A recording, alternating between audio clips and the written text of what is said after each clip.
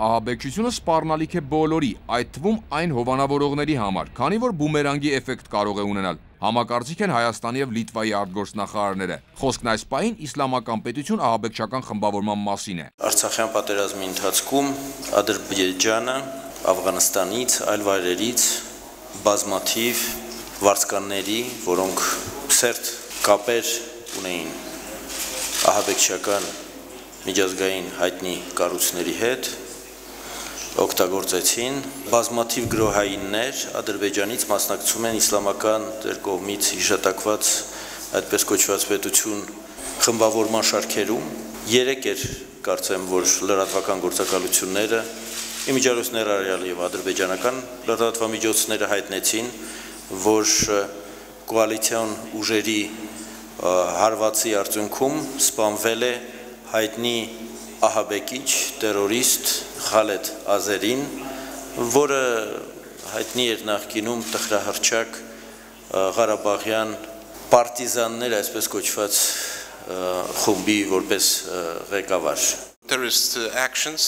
Ահաբեկչությունը սահմաններ չի ճանաչում։ Ոչ ոք չի կարող ասել, որ դա իր տարածքից հեռու է։ Այսպես կոչված իսլամական պետությունն իսլամի հետ կապ չունի, որևէ կրոնի հետ կապ չունի։ ԵԽԽՎ-ում Ղարաբաղի հարցով զեկուցող է նշանակվել։ Մեր պատվիրակությունը դեմ է զեկույցին։ Արտգործնախարարության գնահատականը եւս հստակ է։ Ղարաբաղյան խնդրի կարգավորումը չպետք է տեղափոխվի այլ հարթակներ։ Միջազգային մանդատ ունեցող միակ ձևաչափը Մինսկի խումբն է։ Նախարար Նալբանդյանը պատասխանում է ժամը լրատվականի հարցին. Ադրբեջանական կողմի փորձերը տեղափոխել քննարկումները Լեռնային Ղարաբաղի հիմնախնդրի կարգավորման այլ ձևաչափեր, այլ հարթակներ հայտնի են եւ ցույց են տալիս, որ Բաքուն փորձում է ձախողել ընդհանրապես բանակցային գործընթացը ինքնանպատակ կամ շինցու ինչ որ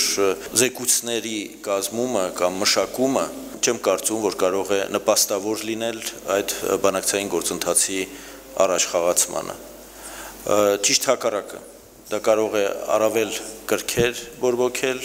մտնոլորտը փխտորել, ինչին եւ և շահագրգռված է ադրբեջանական կողմը։ Նալբանդյան Լինկյավիչուս բանակցությունների օրակարգում նաև Ղարաբաղյան խնդրի կարգավորման ներկա փուլն է եղել։ Հիմնականում սակայն անդրադարձել են երկկողմ ու Հայաստան-Եվրամիություն հարաբերություններին։